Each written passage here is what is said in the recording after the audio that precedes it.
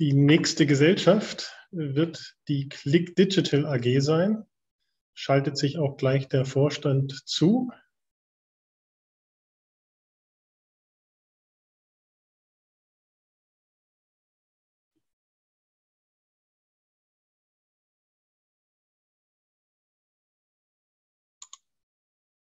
Sorry, good morning. Good morning, Mr. Boss. Hello. How are you today? I'm fine, thank you. Okay. Ähm, ja, kurze Anmoderation für die Click Digital AG, zugeschaltet aus Düsseldorf, nehme ich mal an, Mr. Ben Boss, Vorstand der Gesellschaft. Ich glaube, alle Aktionäre der Click Digital sind zufrieden mit dem Kursverlauf der letzten Zeit. Ja, was kommt danach noch? Wie wird das Jahr 2021? Wie ist der Ausblick?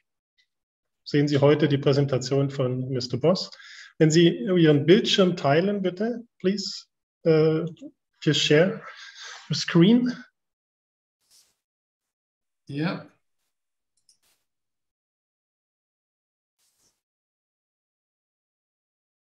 Wunderbar. Does it work? Yes. Ja, Sie können starten. Okay. Well, uh, good morning to all of you.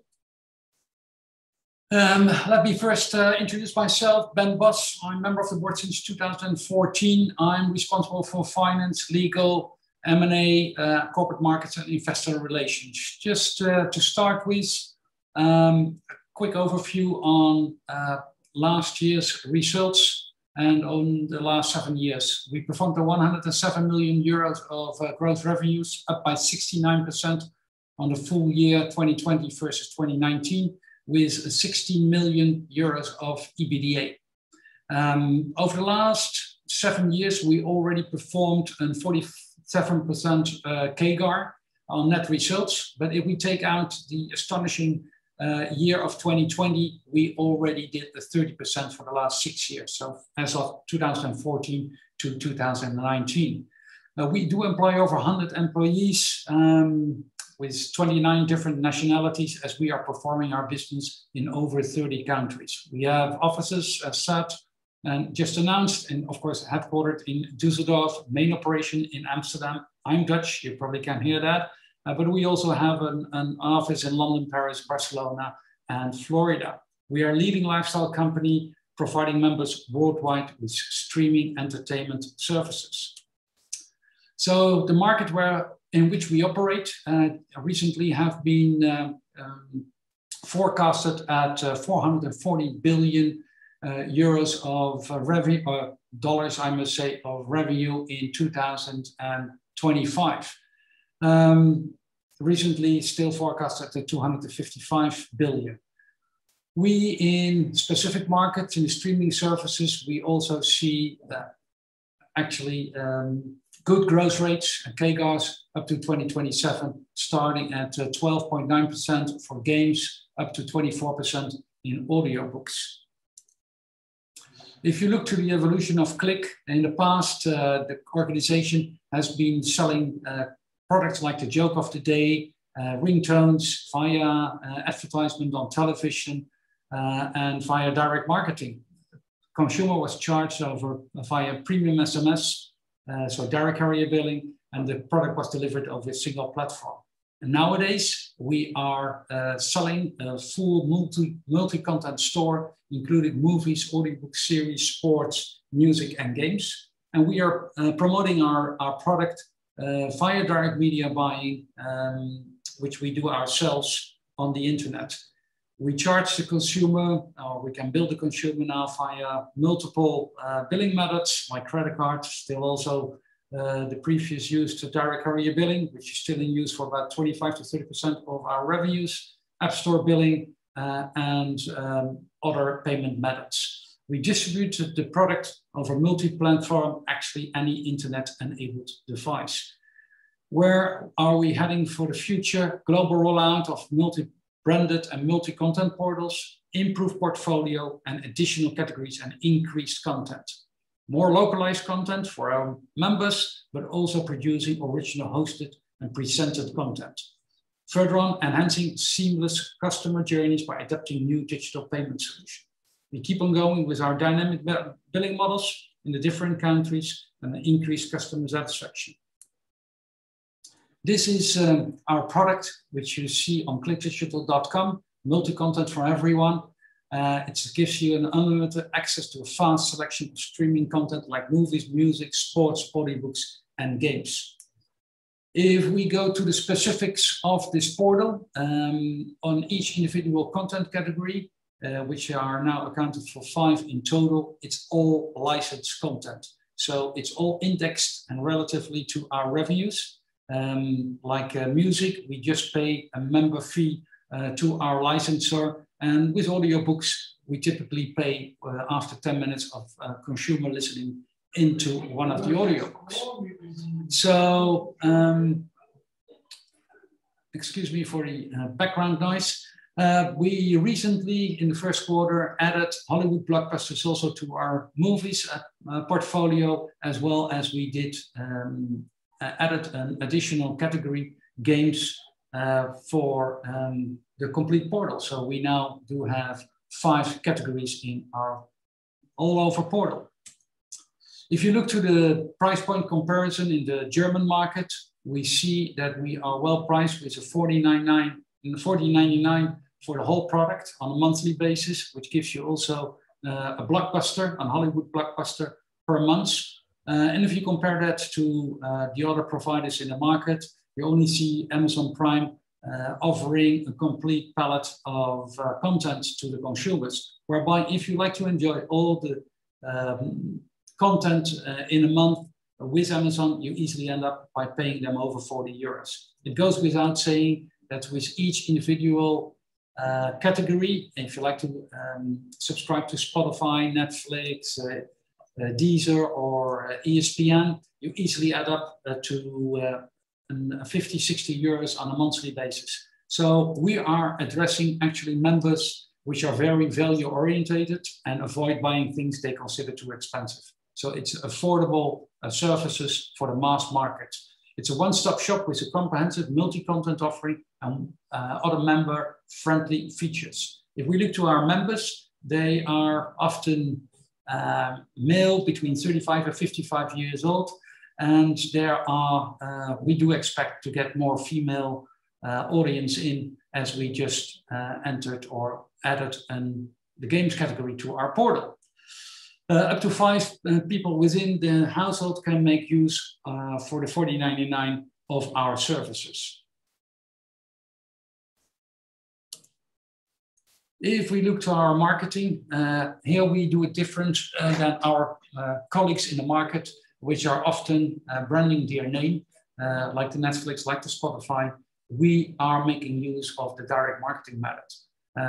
and on this page, you see and enjoy the customer journey um, with an example, if people uh, click on follow your passion, uh, which is on the left side, and you see the, uh, the advertisement, which you typically uh, advertise around the game between, um, uh, for instance, between uh, Barcelona and Madrid. Um, if people are interested in this offering, and we do expect two to three percent of the people subscribing to our service who are clicking on our advertisement, they see the next page coming up and that they see that they get, get for the same price also access to the music, audiobooks, the movies, and the games. Once we, uh, once we check if they were credit or are credit worthy, they get a free trial for um, a certain period on our services, which they can enjoy. We uh, call this direct impulse marketing, and we typically advertise uh, via search engines, social media, uh, but also big publishers and other channels. Um, the efficiency of our marketing is, um, is what we call uh, quite high, as we do expect on every euro marketing we, uh, we, uh, we spend that we uh, expect a return of at least 30% on this. How do we do this? How do we measure this? Well, we can, of course, um, immediately after placing an ad on the web, we can calculate the CPA, the so-called cost per member acquisition. In this example set at 50 euros. Once people subscribe to our services, our BI tool, our business intelligence tool, immediately shakes out the six months revenue uh, for that services. Um, in this example, set at 75 euros. If you divide the 75 by the 50 euros, you have a multiplier, which in this case uh, comes out on the 1.5, which actually means with every euro marketing spend we do, we do expect within six months' time a revenue uh, to realize at 1 euro 50. So the 75 is the average revenue per member for a six months period. Of course, we can determine this also for other periods, but this is set in-house uh, for six months to realize at least a 30%, which equals to a multiplier of 1.4. Um, if our marketeers comes below that factor, uh, be, below that uh, multiplier, then they need to take off the, uh, offline their uh, campaign. So uh, in other words, more marketing, more members, more revenue.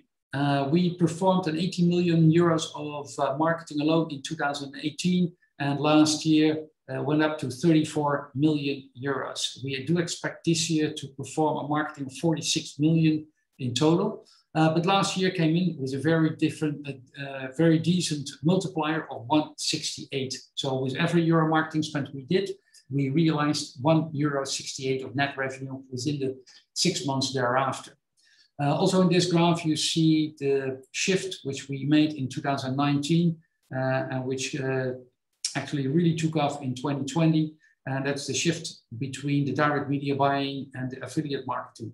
In the past, we've been using the media agencies, the affiliate marketers, um, but nowadays we are much more making use of our own media buying team, which now accounts for over 60% of all our media spent, uh, which is more lucrative as we basically cut out the middleman and we can direct and, and steer our campaigns more uh, effectively.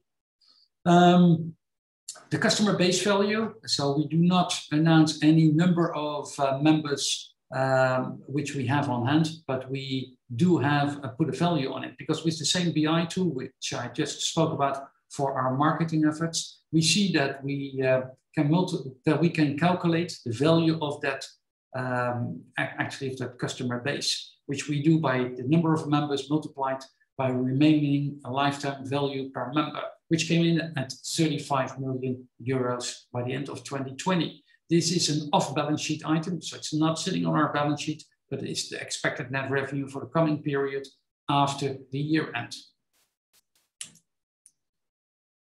If we look to the financials on the key factors of 2020, um, we see uh, again an, uh, an, 107 million euros, which we just uh, seen on the, one of the first pages, with a marketing spend of 34 million and an EBITDA margin, which I like to mention, of 15%.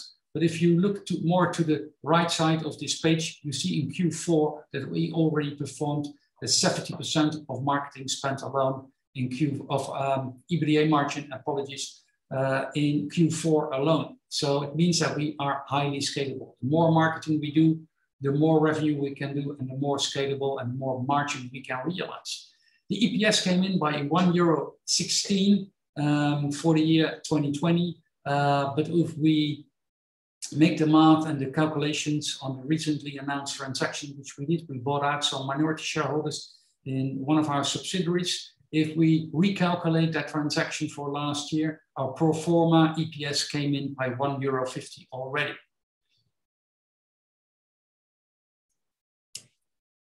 Where did we realize our revenue, or do we realize the, the majority of our revenue? It's a good split between uh, Europe and, uh, and the US, or North America, I would say. It's about 50 50. Uh, US came in by 52 million euros alone over 2020 versus the 9 million they did in we did in 2019 due to the fact that we deployed our own media buying team for the first time in 2020 uh, of, on the US continent. The rest of the world is uh, Middle East and South Africa and Europe came in by 48 million. If we look to the uh, quarterly development over the last um, over the last uh, eight quarters, you see a gradually uh, increasing marketing spend.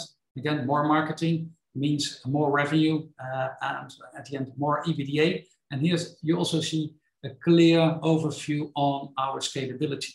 Uh, starting, uh, let's say, in Q2 2019 by 10%, uh, the green balloon on this graph, up to the 70% for the Q4 2020, which came in by 5.1 million euros of EBITDA. Uh, net debt and cash flow. Uh, we started the year 2020 with a net debt of 9.6 million, uh, with a free cash flow of 10.5 million. We were able to finish the year with a small cash position of almost 1 million euros. Uh, and we uh, took into consideration, if you take into consideration, I would say, the 2 million uh, of dividend which we paid last year, the free cash flow would have been uh, over 12 million, actually 12.6 million for the year 2020. But still, we can tap into a nice uh, syndicated loan if we need to uh, with uh, Commerzbank uh, for 13.5 million with an uh, interest rate between 2 and 2.9%. If you look to the balance sheet, um, 77 million in total with an equity of 55 million. So and um, nice equity ratio. If you take out the cash and the bank, bank borrowings and you net it to this uh, 900,000 uh, of cash, we would have ended by 73 million of total assets and equity liabilities. Well, the announcement earlier, um, uh, or last week, I would say, on Hype Ventures. So we bought uh, the remaining shares of the subsidiary we already had 80% in our position. And uh, this subsidiary was also providing streaming entertainment services to members worldwide. We, uh, we valued the, the subsidiary at 90 million, uh, although they did 59% of our uh, revenues, of the, the, group revenues for 2020. And it's further increasing this year. We do expect them to do about 70% of the total group revenues. What's the rationale behind it? Achieve greater operational flexibility. Flexibility. We can sh shift our staff much easier between the different subsidiaries, improve the corporate governance, and uh, realize material efficiency enhancements. Uh, and of course, uh, more important, we sustainably generate significantly higher EPS uh, and net results. Um, how did we, uh, what was the consideration? 320,000 uh, shares in total to be issued to the sellers. Uh, that will probably happen somewhere this week or next week. Everything is with the commercial register. And we also agreed on a lock-on period for circa three years. Um, they are entitled to for dividend on those shares as of um, actually as of next year because this year's dividend payment has been done. 6 million of cash component and an 800,000 of um, earnout. Um, here again, you see the, the mass which we did uh, about uh, 6 million, 6.5 million shares then outstanding after the issuance. And that means uh, 1 euro 50 of EPS uh, if we would have done this deal for last year. So this is pro forma calculation on 2020 uh, results. So 30% higher uh, EPS. We look to the, uh, the outlook. Um, sustainable revenue growth in existing and new geographies, customer satisfaction and brand equity, increasing conversion with our direct marketing expertise, with our uh, direct media buying team uh, improving course content and adding new categories, and taking an opportunistic approach to non-organic growth. Specifically here, we have been uh, uh, compiling a long list of uh, possibilities of companies which we are looking at, which we uh, could uh, maybe include in within the CLIQ group. we are not looking at the US; those companies are too expensive. But we see some decent, decent opportunities in the European market uh, specifically. If we look to the uh, growth drivers, a strong market development um, for streaming entertainment services, uh, improved technologies, and a growing demand uh, by consumers for affordable streaming services. On-demand consumption of content, And uh, we see also, of course, the change in uh, behavior of uh, consumers, which uh, like much more to uh, enjoy uh, content whenever they like to do themselves and wherever they are. So versus the linear program programming of television. So how do we tap into that ourselves? More marketing our own media buying team. We will add additional payment means, especially specifically when we uh, go to new geographies like Latin America and Southeast Asia, we probably do need more payment means, bolt-on acquisition, content and streaming entertainment services, and improving, as said, and adding new content categories. Um, also, we most likely will uh, target new audiences due to our new content categories, like the recently added uh, uh, gaming uh, category in our portal. If we look to specifically to the guidance for this year, uh, last year 107 million came in. We do expect to do over 140 million of gross revenue this year with at least 22 million euros of EBITDA with a margin of 16% and a marketing spend of 46 uh, million, which is one of our main KPIs and, and revenue driver. There was a CLIQ factor coming in at slightly lower than last year on 1.6. Reasons to invest, the equity story, a future-proof and highly scalable and resilient business model, addressing a fast-growing mass market globally, and a dual-track grow, uh, growth strategy, organic and non-organic expansion.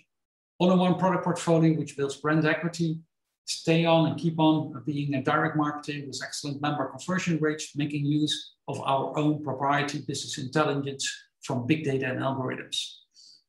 Um, finalizing our tactical transformation in media buying and payment means and keep on being a solid with our solid financials and different, being a different distributor.